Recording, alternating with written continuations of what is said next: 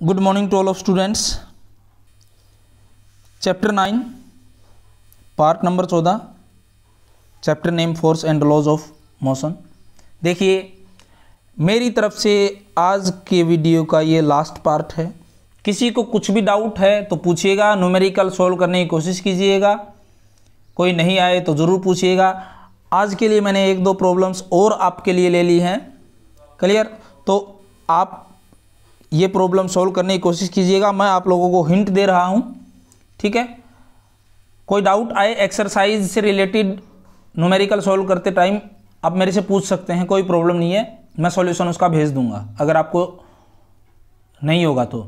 लेकिन ध्यान रखिएगा, जो न्यूमेरिकल हैं, उनको सॉल्व करने से पहले जो पीछे का जो चैप्टर था मोशन वाला, उसके अंदर जो इक्वेशंस हमने यूज़ की थी ठीक है? वो भी आप लोगों को मालूम होनी चाहिए कि जैसे वेलोसिटी की रिलेशन क्या है एक्सेलरेशन के साथ में फोर्स का रिलेशन क्या है? क्लियर इनिशियल वेलोसिटी और फाइनल वेलोसिटी के बीच में क्या रिलेशन है? एवरेज स्पीड का फॉर्मूला क्या है? डिस्प्लेसमेंट का फॉर्मूला क्या है? तो ये सब चीज़ें आपको रिवाइज होनी चाहिए, तब जाकर के इस एक्सरसाइज के अंदर कुछ ऐसे न्यूमेरिकल्स होंगे, वो आप सॉल्व कर पाएँगे। तो देखिए, आज का जो हमारा टाइम होगा, वो ज़्यादा नहीं होगा, छोटा सा वीडियो है। मैं केवल हिंट दूँगा, आपको आप ट्राई कीजिएगा। तो देखिए, अब हमारे पास में कंजर्वेशन ऑफ़ मोमेंटम से रिलेटेड भी एक और न्यूमेरिकल है। क्या लिखा हुआ? Two objects of masses hundred gram यानी कि टू ऑब्जेक्ट हैं तो पहले का मास हमने हंड्रेड ग्राम मान लिया। अब ये फंडामेंटल में नहीं है ग्राम है फंडामेंटल में नहीं है तो इसको आप हज़ार से डिवाइड कर दीजिए। ठीक है? तो अब ये किलोग्राम में आ जाएगा आपके पास में। दो ज़ीरो से दो ज़ीरो कट की तो ज़ीरो पॉइंट वन किलोग्राम आपके पास में आ गया। ऐसे ही दूसरा ऑब्जेक्ट है, उसका मास 200 ग्राम है तो उसको आप लिख सकते हैं 0.2 किलोग्राम। सबसे इम्पोर्टेंट है, जो क्वांटिटी गिवन है, पहले चेक करो फंडामेंटल में है कि नहीं है। यानी कि मास किलोग्राम में होना चाहिए टाइम सेकंड के अंदर होना चाहिए वेलोसिटी मीटर पर सेकंड में होने चाहिए एक्सेलरेशन मीटर पर सेकंड स्क्वायर में होना चाहिए, फोर्स न्यूटन में होना चाहिए, डिस्टेंस डिस्प्लेसमेंट मीटर में होनी चाहिए। अगर हैं तो डायरेक्ट सॉल्व करो और यूनिट उसकी लिख दीजिए। अगर नहीं है तो सबसे पहला काम उनको फंडामेंटल में ही कन्वर्ट करो। तो ऐसे आप इसको पहले मास को फंडामेंटल में कन्वर्ट करेंगे। फिर देखिए, बोला गया कि वो सेम, वो अलोंग द सेम लाइन के अलोंग मूव कर रही हैं।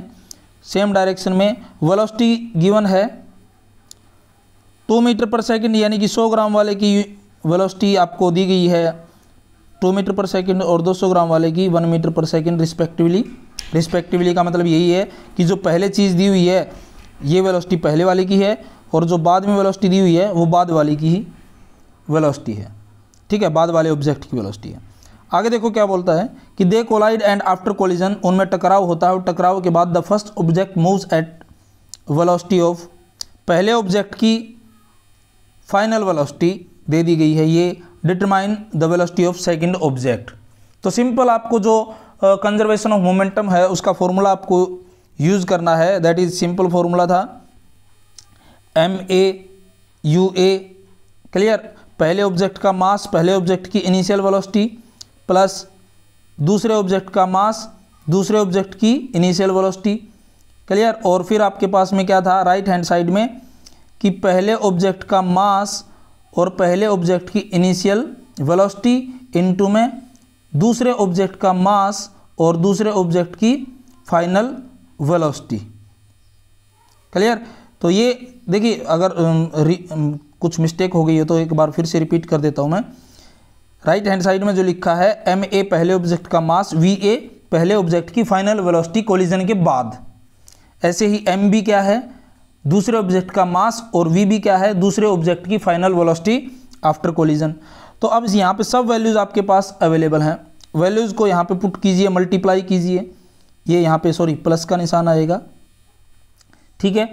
वैल्यूज़ यहाँ भी पुट कीजिए। अब यहाँ पे देखो, पहले ऑब्जेक्ट की तो आपको दे रखी है दूसरे ऑब्जेक्ट की आपको फाइंड आउट करनी है तो आप इस इक्वेशन को जब ये वैल्यूज़ पुट करके आप सोल्व करेंगे तो रीअरेंज करना बस आपको। क्लियर ये आपके पास में एक इक्वेशन बनी, ये एम ए वी ए जो है, इधर आएगा तो माइनस हो जाएगा, फिर एम बी से आप उसको डिवाइड कर दीजिएगा। क्लियर रीअरेंज का काम करना है और काम खत्म आपका बस आपका।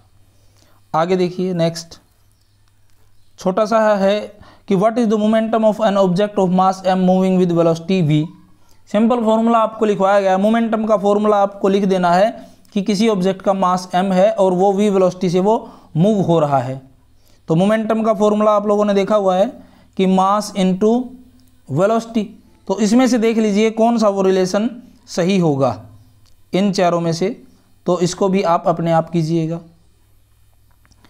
आगे देखिए। A batsman hit a hits a cricket ball which then rolls on a level ground यानी कि एक समतल ग्राउंड के ऊपर वो रोल करना मूव करना शुरू कर देती है। After covering a short distance कुछ दूरी के बाद क्या देखते हैं? The ball comes at rest यानी कि बॉल रुक जाती है। The ball slows to a stop because ऐसा क्यों हुआ? यानी कुछ दूरी के बाद बॉल क्यों रुक गई? चार आपके पास में ऑप्शन है। इनमें से आपको बताना है कि कौन सा सही है कि the batsman did not hit the ball hard enough कि बैट्समैन ने उसको इतनी ज़ोर से हिट नहीं किया था। दूसरा है, velocity is proportional to the force exerted on the ball. की जो वेलोसिटी है, वो फोर्स के डायरेक्टली प्रोपोर्शनल है और there is force on ball opposing the motion कि बॉल पे कुछ ऐसा फोर्स लग रहा है कि वो उसका अपोज कर रहा है कि ये ऑप्शन सही है। या फिर option number four there is no unbalanced force on the ball so the ball would want to come on come to rest कि ये ऑप्शन सही है। तो आपको देखना है कि ए बी सी डी में कौन सा ऑप्शन सही है। फिर भी कोई डाउट आए तो पूछिएगा। Thanks for watching the video Monday से हम नया चैप्टर शुरू करेंगे। आपके पास में आज का टाइम है और कल का टाइम है। कोई प्रॉब्लम हो तो ज़रूर पूछिएगा।